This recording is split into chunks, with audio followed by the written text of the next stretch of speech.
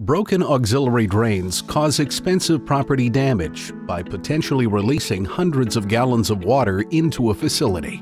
AGF's Collect and Drain Flood Eliminator, Model 5900, significantly minimizes water damage by reacting to false or accidental system trips, restricting the flow from the broken drain.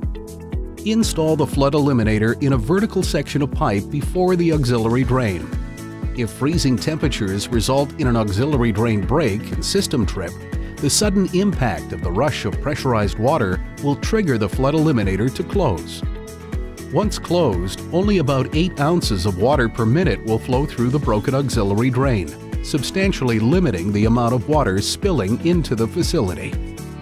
Once the system is depressurized, the flood eliminator will automatically reset, allowing any remaining water to drain normally.